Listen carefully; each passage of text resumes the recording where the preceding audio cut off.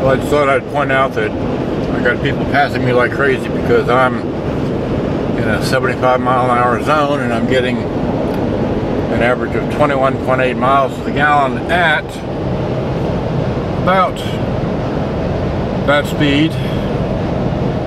And um, at that mileage if we can see it maybe if I pull away you can say I got it on cruise but seeing them people here are just passing me like crazy and I got this 18 uh, wheeler right up on my ass. So if I were to step on the brakes.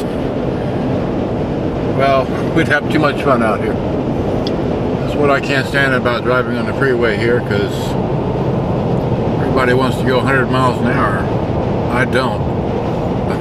I don't you know I'm in a 4x4 Dakota quad cab pickup 4.7 liter motor automatic tranny I'm trying to maximize fuel economy. Anyhow I just wanted to show you the 100 mile mark or 102 by now what kind of fuel economy I'm getting and I'm out here in the middle of nowhere I'm about well I just passed I don't know what I passed. Maybe I'll see a street sign real soon because they're only a minute and 20 seconds into this so let's see. Okay I just passed uh, Buffalo going heading south Buffalo for Route 79 it was about 10 minutes ago this is where I'm at. And I'll call it a minute 40 and say good day. Christmas uh, 2013 headed to Houston. Bye bye